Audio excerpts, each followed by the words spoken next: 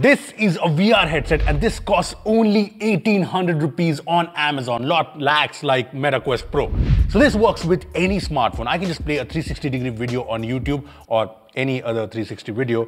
And then all I need to do is place the phone in the headset, snap it close and wear the headset. Now I can just move my head around and experience the whole 360 degree video in VR. It's really cool.